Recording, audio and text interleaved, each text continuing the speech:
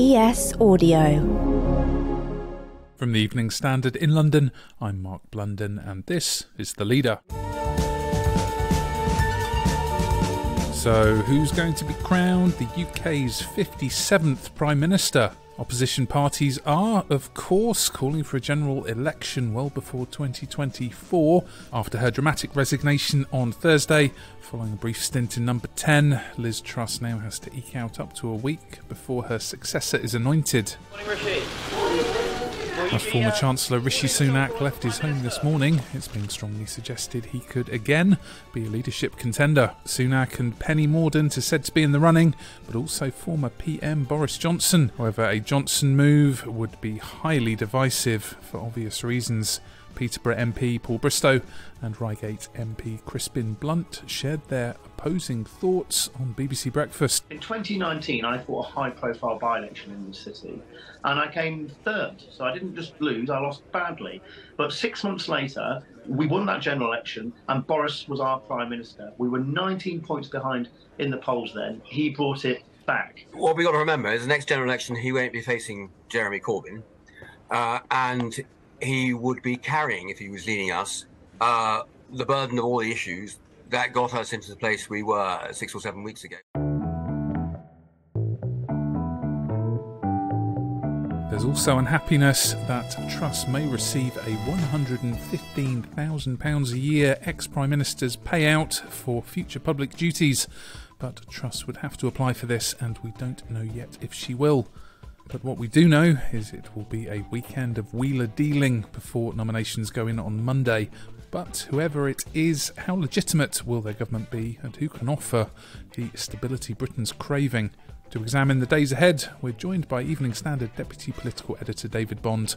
David, what's been the fallout from Liz Truss's resignation? Well, the fallout really is that, you know, it's almost been done and dusted, right? You know, she's resigned now quickly into this breakneck speed leadership election contest, which is going to be done potentially. We could have a new prime minister by Monday evening. So the Conservative Party has certainly listened to those critics who said the previous contest was too long. It dragged on for many more weeks than it needed to. And so now we have the complete reverse, which is that this kind of lightning fast election contest. And it's as we speak now, it's not even, well, it's about 24 hours after Liz Truss announced she was resigning outside number 10. And it already feels like a distant memory. Things are moving at such speed at the minute. It's really quite hard to keep up.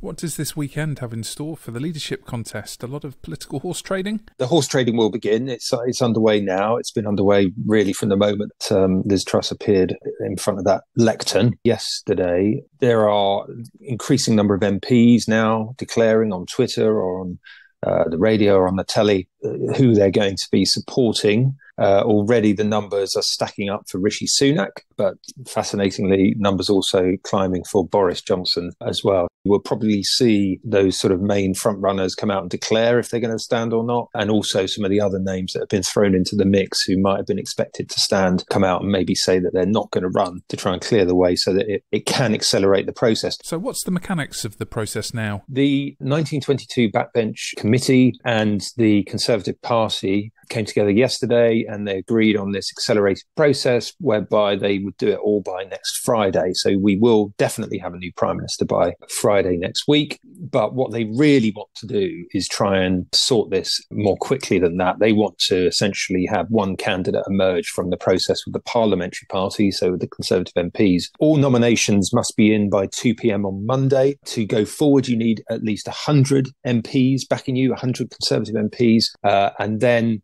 if there are three, there will be a quick vote of Conservative MPs. They will whittle that down to two.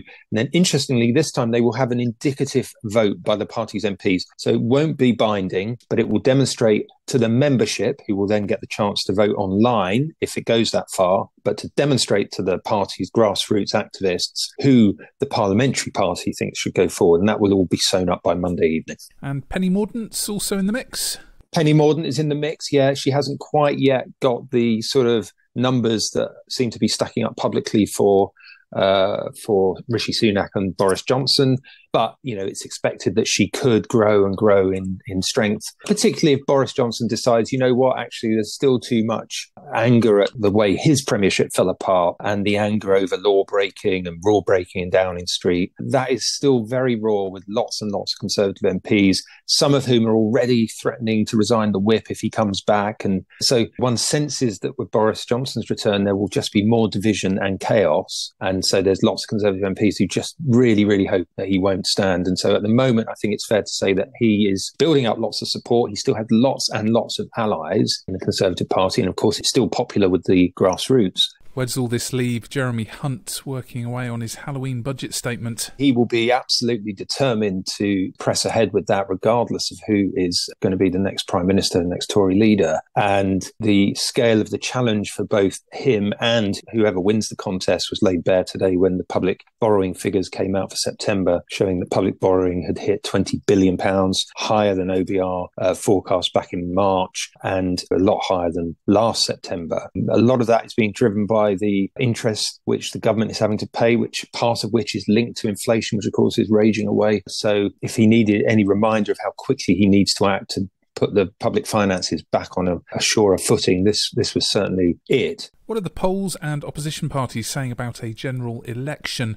Presumably, the Tories will want to hold off as long as possible. There was a poll out this morning. I just saw I saw it quickly, and it was a map of Britain, and it was basically a sea of red, according to the latest polls, which I think has Labour with a 39 point lead. I mean, take your pick of polls. At the moment, they're all showing huge, huge leads for Labour. So there's no doubt that if the election was tomorrow, the Conservatives would face a, a, a devastating defeat, and so the Tories will want to avoid that that at all costs. The new leader will want to avoid that at all costs. But, you know, the opposition parties, Keir Starmer was again on the airwaves this morning calling for a general election. Ed Davey, leader of the Liberal Democrats, the SNP, they're all pushing harder and harder. There is a petition as well, which has got a growing number of uh, signatures on it, which is going to push for it. But again, because of the way our system works, it is very difficult. If the future Prime Minister doesn't want to call a general election, then one will not happen until the end of 24 and early 25.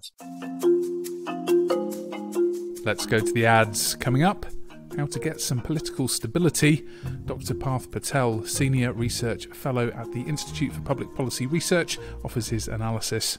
Why not hit rate and follow in the meantime?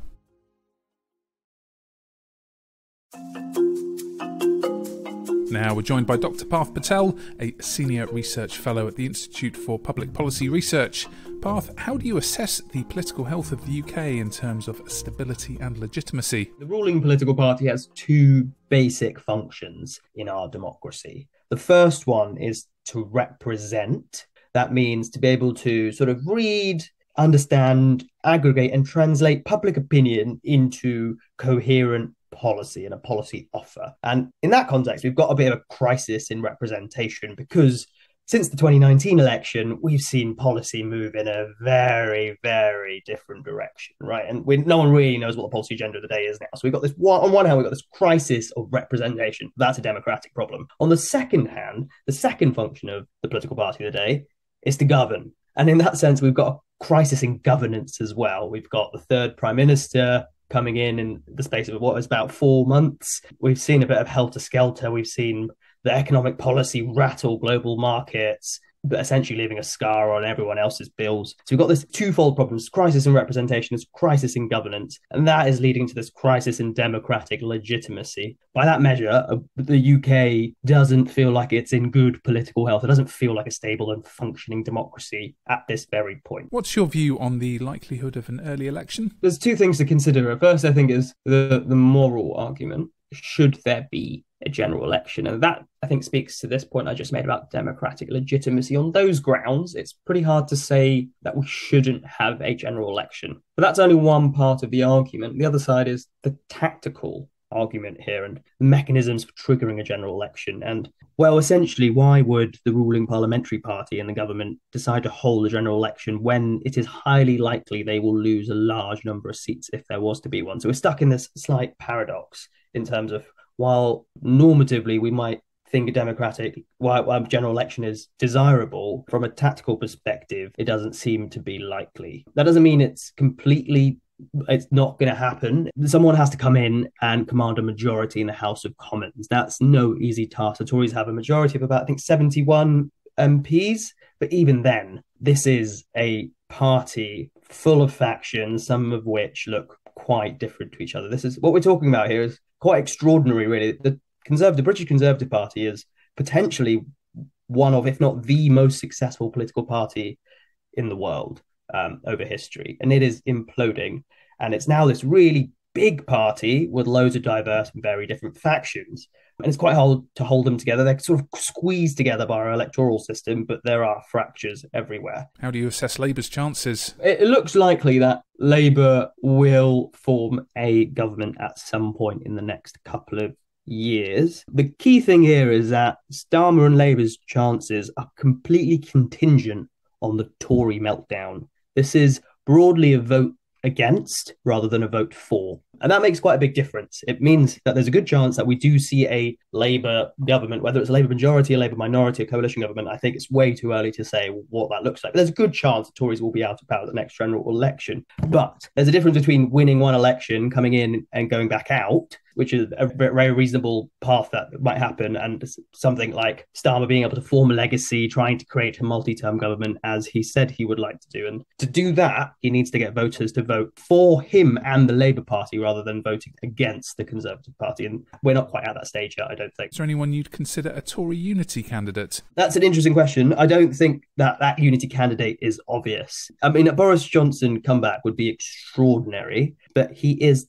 toxic. First of all, he divides the Commons. He has a lot of strong supporters, but he has a lot of strong dislikers. Moreover, he is very divisive across the country. We have to remember his polling ratings, I think, in the summer of this year were pretty terrible. I think close to minus 40, minus 45 points. Sunak similarly is a divisive character. For lots of people, he looks appealing, and he will almost certainly be on the ballot on Monday as one of the final two if we get to more than one candidate. And lots of people will support him. People that are scared of Trussonomics and want stability, people that supported him in the first place, people that think he's probably the best bet ahead of the next general election to stop something catastrophic happening electorally. But again, he's got his dislikers. Penny Mordaunt, I think, is probably the most likely to fulfill this person of maybe can just hold together these different factions within the party, partly because she's less well known than Sunak and Johnson has less of a brand associated with her. How do you assess the damage to the country's international reputation done by these weeks of political turmoil? There's probably no two ways about it. It certainly tarnished our reputation on the global stage, whether that's with other countries. I've got colleagues in the US and in Germany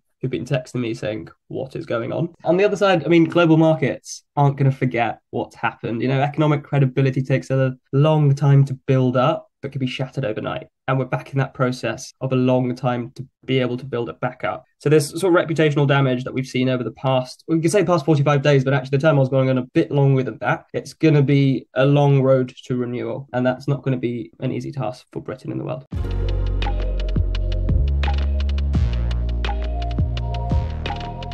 There's more on this story in the Evening Standard newspaper and online at standard.co.uk. That's the leader. We're back on Monday at 4 pm.